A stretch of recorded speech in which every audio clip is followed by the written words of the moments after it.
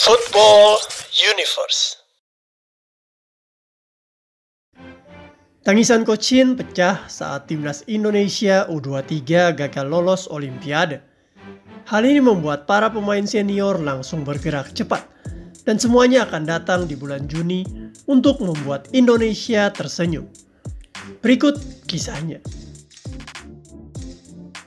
Please like, comment, share, dan subscribe channel ini jika cerita-cerita sepak bola kami bermanfaat. Ada sebuah quotes indah yang pernah kami dengar berbunyi seperti berikut. Seorang pelatih hebat adalah pelatih yang mampu membuat para pemainnya menganggapnya lebih dari sekedar pelatih di lapangan. Tetapi dia adalah ayah di luar lapangan bagi mereka. Quotes ini memang menurut kami sangat relate dengan kenyataan dan beberapa pemain kelas dunia pernah memanggil pelatih kesayangannya dengan sebutan ayah.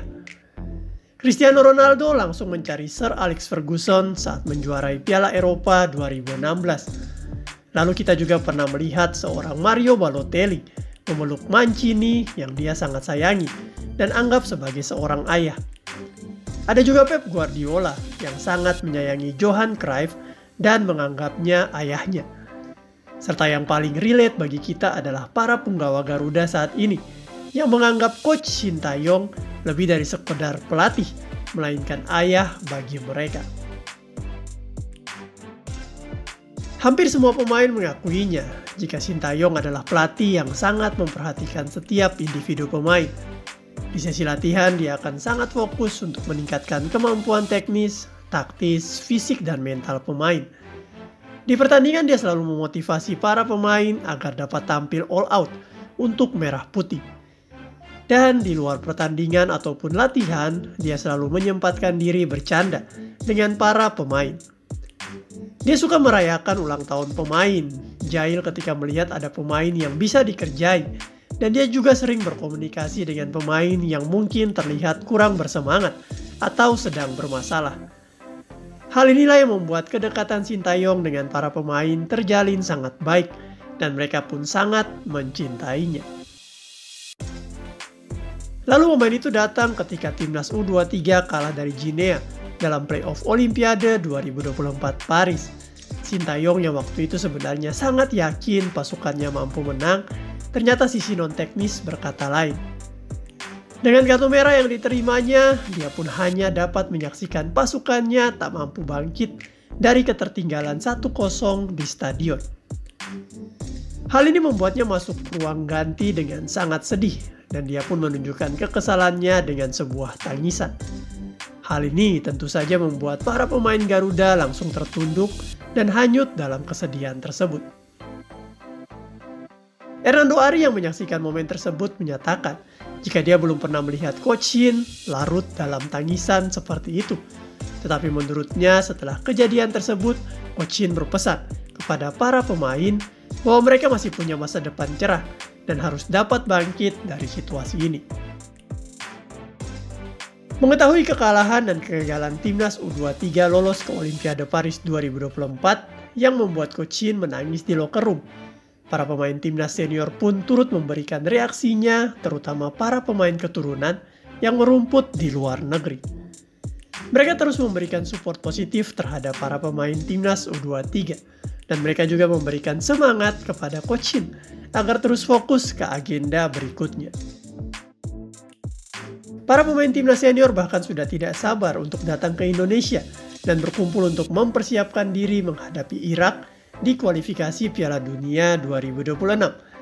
Saat ini memang masih ada beberapa liga yang belum selesai, tetapi di akhir Mei nanti sepertinya semua liga telah selesai bergulir sehingga rencana Kocin untuk memanggil semua punggawa Garuda di tanggal 27 Mei sepertinya bakal berjalan mulus. Jaitses sudah tak sabar untuk bergabung dengan Elkan Bagat dan Jordi Amat di barisan pertahanan Garuda. Shane Patinama dan Sandy Walsh siap tempur kedua kalinya dengan Irak untuk membalaskan dendam mereka. Demikian juga Martin Paes yang tak sabar untuk bisa bertemu dengan Hernando Ari dan berlatih bersama agar gawang Garuda semakin aman. Tom Haye sudah mengirimkan sinyal akan all out untuk mengkreasikan permainan Garuda. Ragnar Oratmangun juga sudah gatal kakinya untuk bisa mencetak gol. Sementara itu Calvin Verdong dan Jairo terus berharap proses pindah keluarga negaraan mereka cepat terrealisasi. Hal ini menjadi penyemangat tersendiri bagi Coach Shin. Di saat air matanya tumpah, justru para pemainnya memberikan senyuman terindah yang mencetuskan harapan. Para pemain timnas U23 yang sudah masuk timnas senior juga saat ini sedang beristirahat dan di tanggal 27 Mei nanti siap kembali bergabung dengan pemain timnas senior lainnya. Kekuatan Garuda kali ini tentu saja menakutkan karena Coach Shin kini sudah punya banyak pilihan yang dapat diturunkan. Kiper dia punya dua kiper terbaik, yaitu Martin Paes dan Hernando. Back tengah dia punya Jai Itzes, Rizky Rido, Elkan Baget, Jordi Amat, dan Justin Hapner. Fullback dia punya Sen Patinama, Sandy Walsh, Nathan Cho, Pratama Arhan, Asnawi Mangku Alam, serta Calvin Verdong. Lalu di midfield, dia punya Tom Haye, Ivar Jenner, Mark Locke, dan Ricky Kambuaya. Serta di lini depan, dia punya Marcelino, Witan, Egi Sayuri, Rafael Strike, dan Ragnar Oratmangun, plus Sananta dan Hoki. Dengan kekuatan seperti ini maka dipastikan Indonesia akan mampu menyaingi bahkan mengalahkan Irak di GBK tanggal 6 Juni nanti. Apalagi semua fans Garuda pasti akan tumpah ruah ke sana untuk memberikan dukungan terbaik. Ini adalah laga penting bagi timnas Indonesia. Jika bisa menang, maka kita akan lolos ke putaran 3 Piala Dunia 2026. Sedari sekarang, tentunya Sintayong telah menyiapkan taktik dan strategi terbaik para pemain akan datang tanggal 27 Mei dan mereka pun melakukan training camp selama kurang lebih seminggu sebelum menghadapi Irak di tanggal 6 Juni.